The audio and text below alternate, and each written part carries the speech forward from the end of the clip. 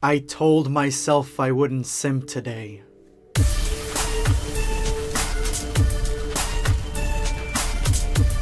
Prepare yourself, Dan Saiyan. Smash that like button and if you're new to the channel, make sure to hit that subscribe button and turn on notifications, that way you never miss a video. Today I have a brand new Dragon Ball fan manga from Teira Nova, the creator of Jiren X Android 21. So for those of you guys who really enjoyed those videos, I would say support her on her Patreon. I'm going to leave a link to her Patreon in the description below and the top comment. That way you guys can go ahead, give her some love, and that way she can put out this content a lot faster and a lot easier. But today I am going to go all the way back to the origin of Jiren. Now, some some of you guys may be having deja vu. Don't you worry, this is not the exact same story that you may be thinking it was about a month ago. No, we actually have a lot more pages in here and we have a fuller fleshed out story for Jiren and his origin. Something that we really didn't see in Dragon Ball Super. Another failure of Dragon Ball Super to give such an interesting character, at least at the time,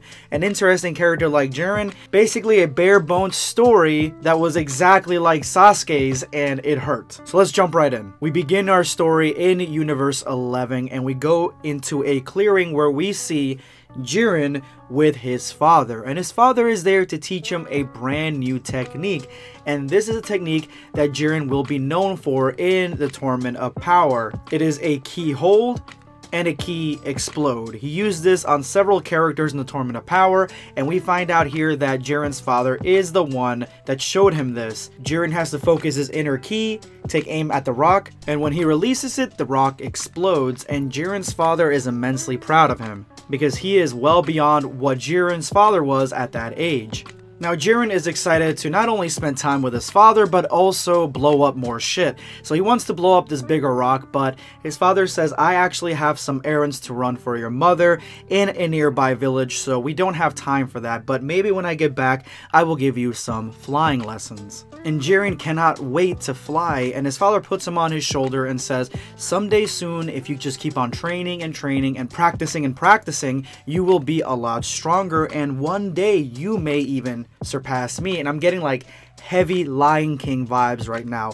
Mufasa, Simba, and we already kind of know that this is how it plays out because Jiren's family and his village doesn't make it into the future of Universe 11. Just then, Jiren gets a Skype call and it is his wife telling him that the goods are ready for transport and he tells his son that I was just talking to your mother, it is time for us to head back to the village and this plays into the fact that the Jiren race has these really strong telepathic abilities that not every other race has besides the Frieza race so I definitely like this. This is a perfectly convenient way to use the Dragon Ball powers in an everyday situation. Jiren stays behind to play by the river, and Jiren's father decides to let him play and goes back to the village alone.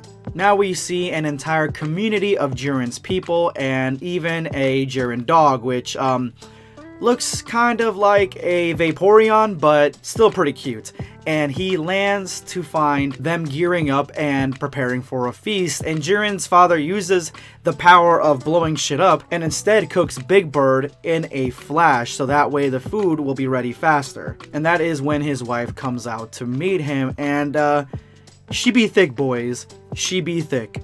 And that is where this story ends right now. That's what I'm telling you guys. Go support Teira Nova on Patreon, on Twitter. It looks like we're heading toward the massacre of Jiren's family and village by this unknown stranger, this this evil being, because Jiren's not there, obviously. So yeah, they're probably gonna get massacred here soon, which is pretty sad, but at least we got to see some of Jiren's character development, and that is what we did not get to see in Dragon Ball Super. Anyway, if you made it to this point in the video, you're now part of the hashtag end of video squad. Thank you guys so much for all your support. Make sure you drop that comment with that hashtag for a chance to be featured in my next video.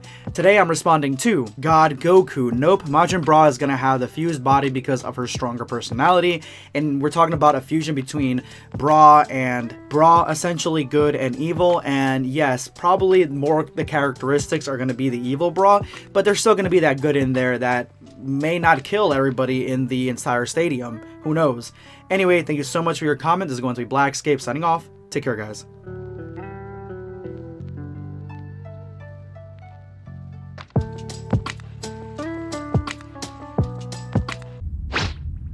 Subscribe for more content.